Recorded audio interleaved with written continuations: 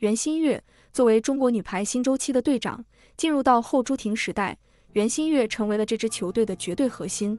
毕竟在如今的中国女排队中，真正有丰富的奥运冠军经历的球员并不多。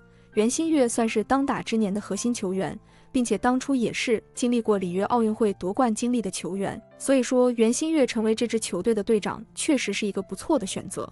而袁心玥也确实尽职尽责，担任球队队长以来渐入佳境。其实，对于一支球队来说，队长的作用是无人可以取代的。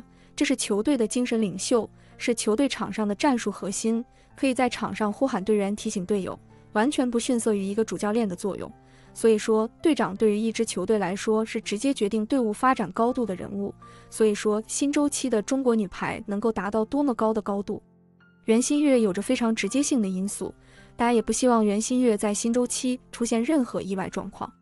袁心玥出生于一九九六年，也已经二十七周岁。对于一名女排队员来说，这个年纪不算年轻，甚至有不少女排队员来到这个年龄就已经接近于退役的边缘了。这个年龄段的队员伤病缠身，大家也都担忧袁心玥在这个时候会被伤病困扰。一旦这样的话，很可能会让袁心玥面临着提前退役的风险。新周期中国女排被大家寄予厚望，还肩负着冲击奖牌的重任。袁心玥作为球队队长，千万不能倒下。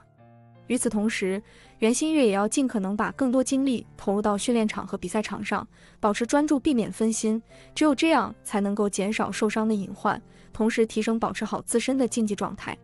这也有利于袁心玥在新周期引领中国女排达到更高的高度。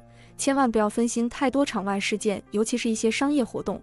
东京奥运会，中国女排之所以小组赛没出现，就是因为奥运会之前广告一个接一个，很难有系统的备战训练时间。而就在排超联赛激战正酣之际，袁心玥却宣布了一个意外决定：她前往某方便面品牌直播工作，参加商业活动。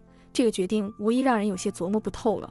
毕竟袁心玥联赛期间应该以比赛为主，专注训练和比赛，保持好状态，为新周期的崛起而努力。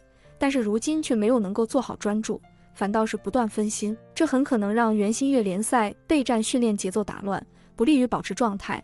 这也让蔡斌颇感遗憾。中国女排也会因此新周期意外生变。